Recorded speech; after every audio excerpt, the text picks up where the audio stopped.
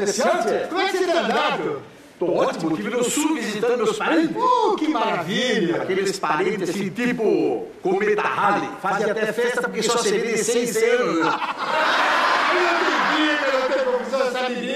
Que parente é bom, né? Longe.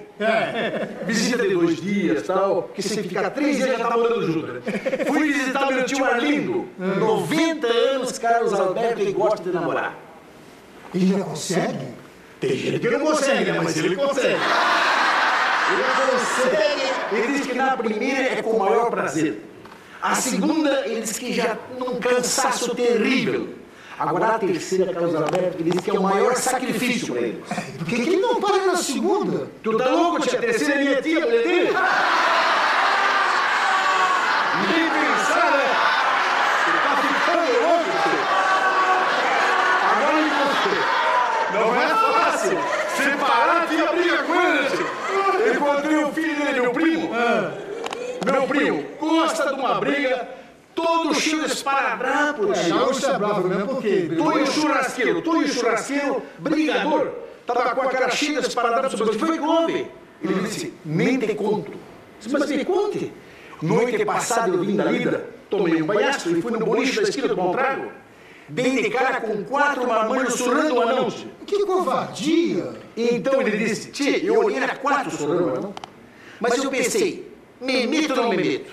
Me meto. Ele é violento por demais, né? Se meteu.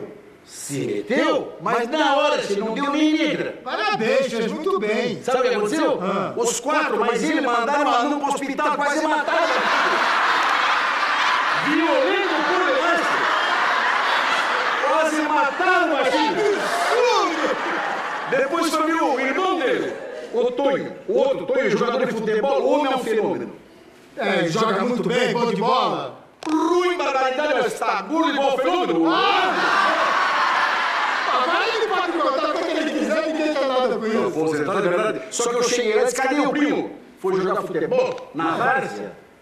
Peguei um Fuca que eu tenho e fui até a várzea. Carlos Alberto, quando eu cheguei no campinho, imagina assim, ele estirado no lado de fora do campo, deitadaço na grama, a perna em cima de uma cadeira e os ossos tudo aparecendo. Ah, meu Deus. Ele quebrou a perna no jogo? Eu falei, isso que foi gente? Ele disse, não. Dividiu a bola. Não foi isso, galera. Isso que foi disse, "Sim." Ele estava dando uma carreira, trás, a carreira é uma corrida, acabou? Sim, sim. O zagueiro botou ele para escanteio. Aí tu sabe que para cobrar escanteio, o cara tem que tomar uma distância, né? Claro, o chute poder. Então ele botou a bola na marca, campo de várzea, ele entrou no milharal que tinha assim, uma plantação de milho, para pegar em bala, né?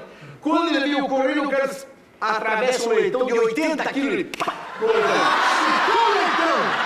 Chutou o leitão, disse, mas o que foi que "Pô, foi assim, mas ele não tem médico para atender? Deixa eu dizer, não tinha ninguém pra atendê-lo? Ele disse, médico tem, mas está atendendo o Chiru que cabeceou o porco. Trovador, barbaridade. Pô, mas pelo você vive com a família, deve ser sido gostoso, né? É uma maravilha. Ó, fiquei na casa do meu avô, meu avô, quando eu tô chegando à noite na casa dele, cara, um vulto, uma pessoa, eu fiquei desconfiado, sabe que hoje em dia tá tudo perigoso, né? Nossa senhora. Eu cheguei por trás do Chiru, segurei lá embaixo nos grãos do bicho Ah, e apertei. Tu imagina, eu apertei e perguntei, quem tá aí? Nada, o homem ficou quietinho. Eu apertei mais, quem tá aí? Ele, nada. Aí, Carlos Alberto, eu cravei as unhas. Ai, meu Deus. Imagina, e dei aquela torcida, né? grita aí! O cara deu um resumo, é o José! Que é José?